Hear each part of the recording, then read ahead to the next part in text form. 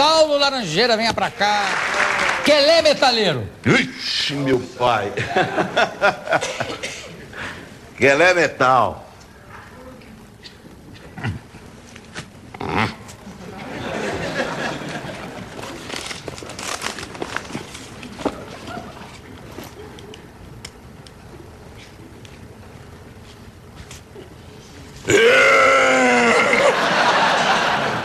E aí, Joseiro, como é que é?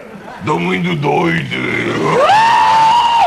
And the flying when like in the sinino!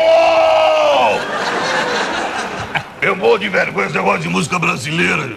Música brasileira é um atraso. A pessoa tá cantando, tá todo mundo entendendo o que a pessoa tá falando. Eu morro de vergonha.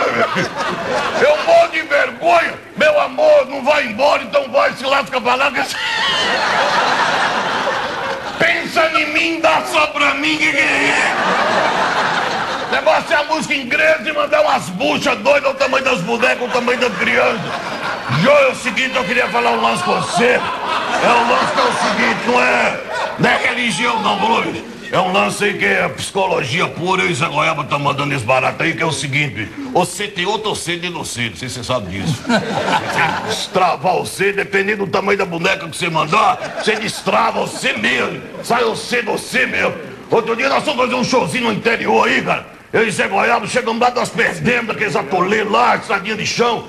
Aí eu falei, bicho, e agora? Aí nós vimos um caipirazinho na beira da estrada, esses caipiras horrorosos, feios demais, peliosos.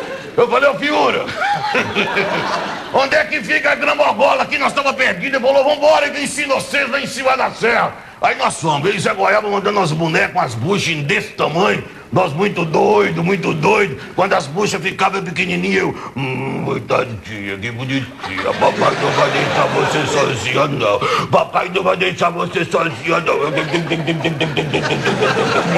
Aí, bicho, quando chegamos no meio da serra, o velhinho mandando os paeirinhos cara. Aí, de repente, o velhinho...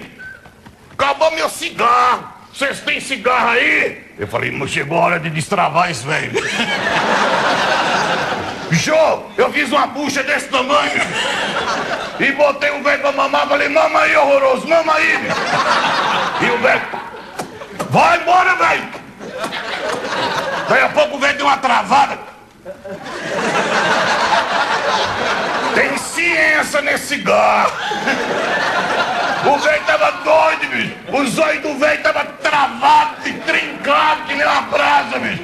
Aí quando chegou lá, eu falei, aí, velho, onde é que fica Gramagola? Ele olhou pra mim e falou, eu sou Gramagola.